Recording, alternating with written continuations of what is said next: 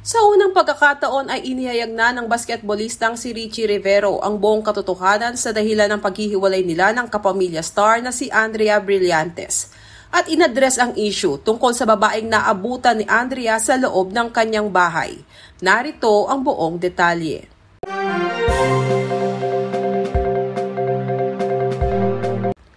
Sa nakaraang interview ni Boy Abunda kay Richie sa Fast Talk with Boy Abunda nitong lunes, June 26, ay walang takot na sinagot ni Richie ang lahat ng issue na bumabalot sa naging relasyon nila ni Andrea bago sila naghiwalay nitong May. Kwento ni Richie, ang kumakalat na video ng babaeng nakatapis lamang na naabutan ni Andrea sa loob ng bahay niya, ang punot dulo ng hiwalayan nila. Ito rin ang rason kung bakit siya inaakusahang cheater ng mga malalapit kay Andrea. Ani Richie, yung cause ng breakup was yung speculation ngayon, yung may kumakalat sa social media na may nakita siyang girl sa place ko. Inamin ni Richie na totoong may naabutan na babae si Andrea sa loob ng condo unit niya at si Andrea pa mismo ang kumuha ng mga kumakalat na video ngayon ng babaeng nakatapis lamang ng tuwalya.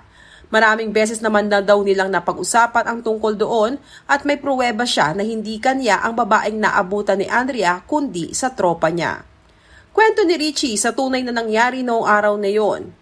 May papuntang friend ako ng midnight tapos hindi ko naman alam na may kasama siya. Tapos yun yung inabutan ni Andrea that time. Pag-amin pa ni Richie, nag-cool off daw muna sila ni Andrea noong April at tuluyang naghiwalay pagsapit ng May. Si Andrea din daw ang may gusto na wag muna nilang i-public ang breakup nila.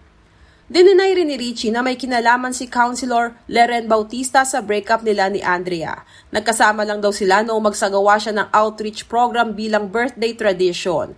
Kasama rin si Leren noong gabi ng birthday celebration niya with friends kung saan kuha ang litrato na ipinost sa IG story ng konsehala na siya naman pinagbasehan ng cheating accusations sa kanya. Hiwalay na raw sila ni Andrea noong mga panahong iyon.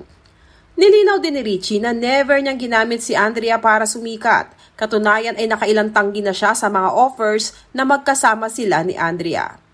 Samantala, makalipas ang mga revelation ni Richie, ay may isa siyang malapit na kaibigan ang nagpaunlak ng interview at sinabing hindi kumpleto ang mga ikinuwento ni Richie sa fast talk ni Boy Abunda. Dahil noong dumating daw si Andrea sa kondo ni Richie, ay nakaredy na ang camera ng cellphone nito. Kinunan daw nito ng video ang babae na lumabas ng nakatapis lamang ng tuwalya. Matapos piliting buksan ni Andrea ang pinto ng comfort room kung saan ito naliligo. Ayon sa source, Sinasabi ng mga taong hindi nagsasalita si Andrea tungkol sa issue, pero siya ang kumuha ng video ng girl na pinagselosan niya. Kaya sino ngayon ang nag-leak sa social media ng video at mga screenshot ng babae na nakatapis lang ng tuwalya? Paano yon lumabas? Samantala, isang malapit na kaibigan ni Andrea naman ang nagsalita rin at sinabing tanggap na ng nahimasmasang yang actress na nagkamali ito sa kanyang ginawa. Kumbinsido rin daw itong hindi ang babaeng pinagselosan niya ang tipong magugustuhan o papatulan ni Richie. Pero mas nanaig pa din daw sa kanya ang selos. Samantala, ikinagulat din ng marami ng ibunyag ni Richie kay Tito Boy na paminsan-minsan ay nagsasama sila ni Andrea sa iisang bahay noong silang dalawa pa, bagaman nasa hustong gulang na sila. Live-in ba kayo ni Andrea Brillantes?